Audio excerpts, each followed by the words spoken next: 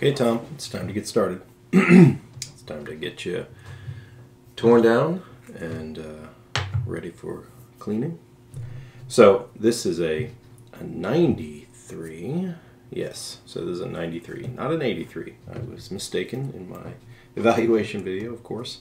These were produced from 88 until the mid 90s, so um, definitely a little bit later.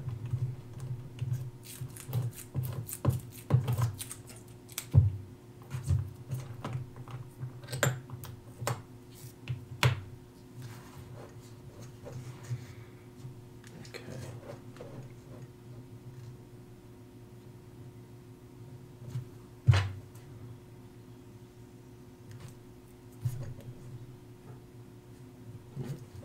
Looks pretty good. All right, let's get rolling here.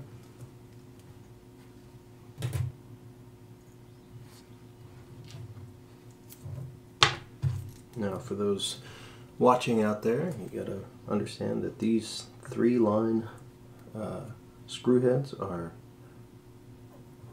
left handed. So it's clockwise to remove. Keep that in mind.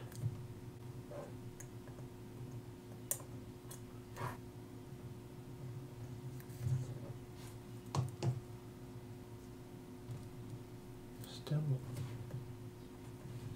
very nice style.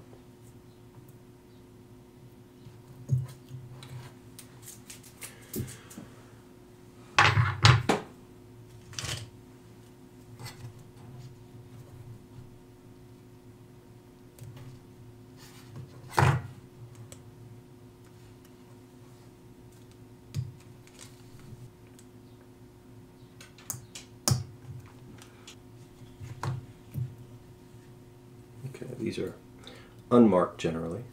There's no marks on the backs of these dials.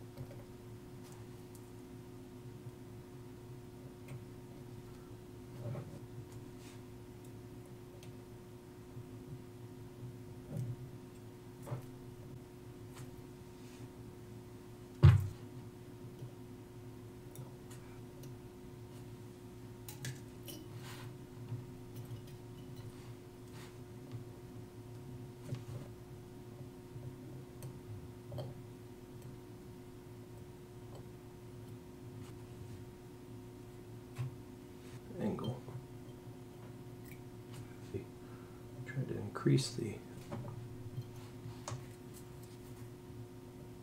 All right, we will get it clean.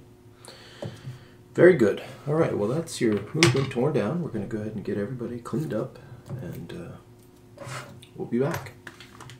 Okay, we are back.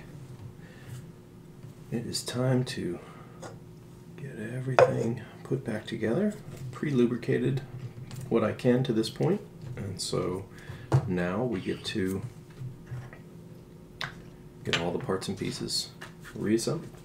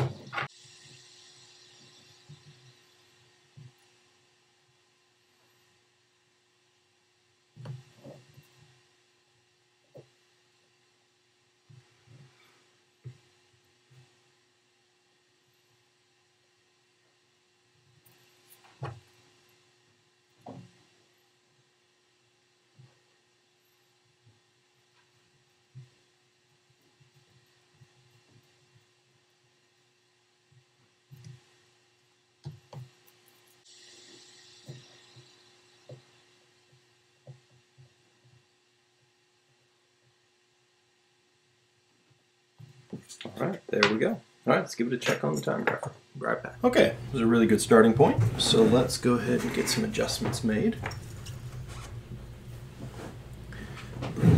Down your beat error a bit. Check which direction I'm going to go. All right, let's see. Ooh, that was a lot. That's probably way too much. In fact, it was. Okay. There's a bit of static friction in these things that you got to overcome every once in a while. Okay. Now we should be back. Okay, closer.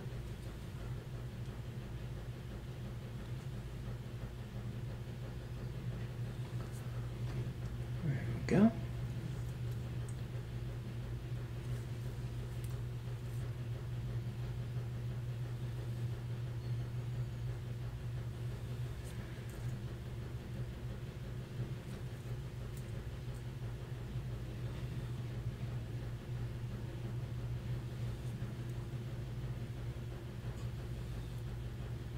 Close?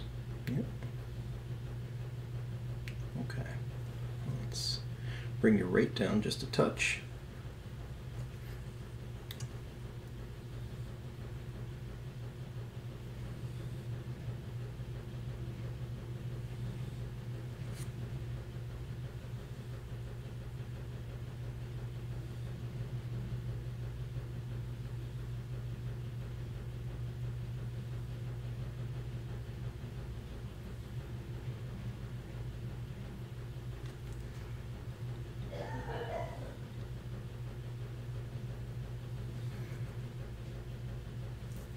Okay.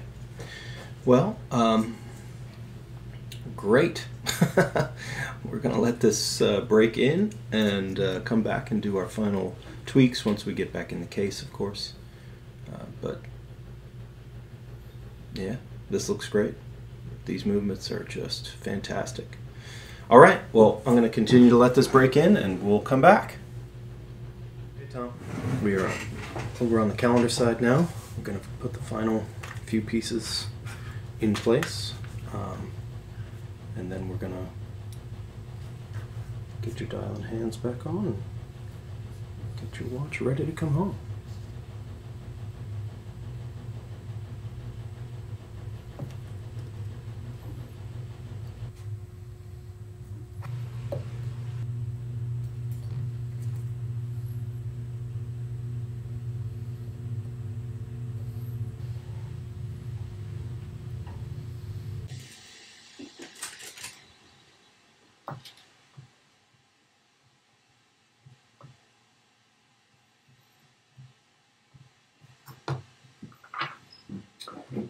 Okay. With that, we are ready to um, put your dial and hands on and finish up your watch. Okay, Tom. We are back in the case and ready to put the final piece of the puzzle together. Just have to put your winding weight in place. And we want to do that in a somewhat special way here. This um, this hole needs to point towards that stud. And then your winding weight splits the the distance here. Is bisected by your uh, your stem. And then once that's like that we can go ahead and let's go ahead and get the big one tighten down your screw and that. Optimizes your winding. That's set by Seiko. All right. Here's your brand new case back seal.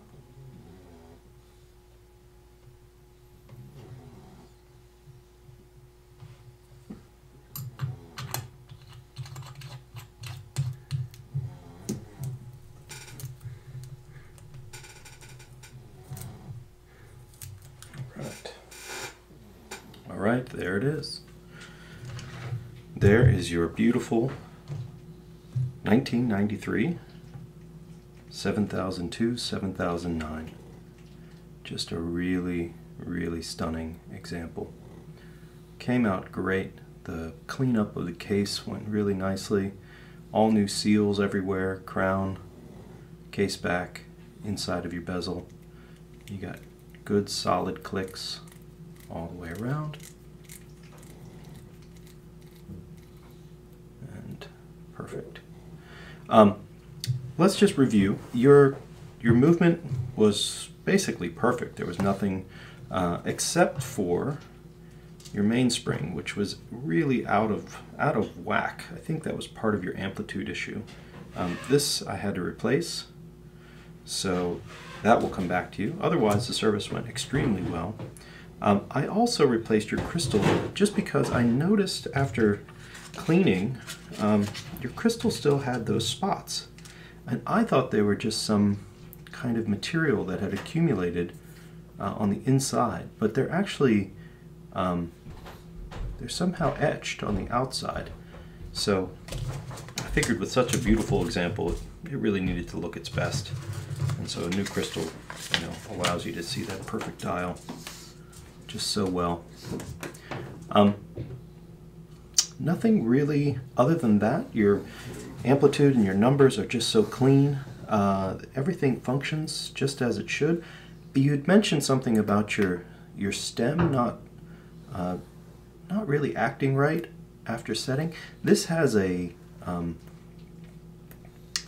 uh, a sort of spring-loaded stem that goes into the crown, and it was a fairly messy space inside of here, and so I, I don't know if somebody had maybe put some, some sealing material or if that was even factory, um, but with your new um, gasket and cleaned out this crown area and all around, and your threads are great. Um, I haven't had a problem um, putting things back after setting.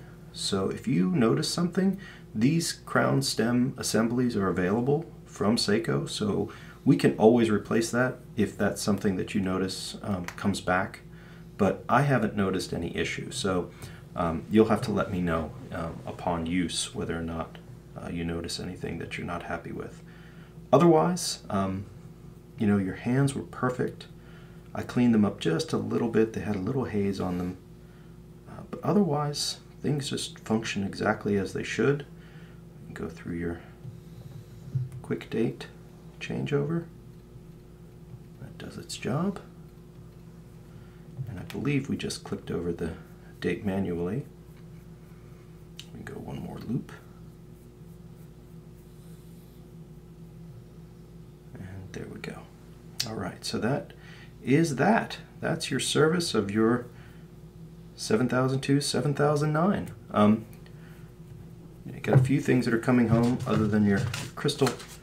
Got your uh, couple gaskets here, stem crown assembly, your gasket for your case back, and gasket for your uh, your bezel. And I'll put this in a bag so you can have a look at it. Otherwise, that's it. A beautiful watch. What a really great example. Well, thank you again, Tom. I hope you get to enjoy it, and I, uh, I appreciate you sending it in. And we'll get this back to you. All right, thanks for watching.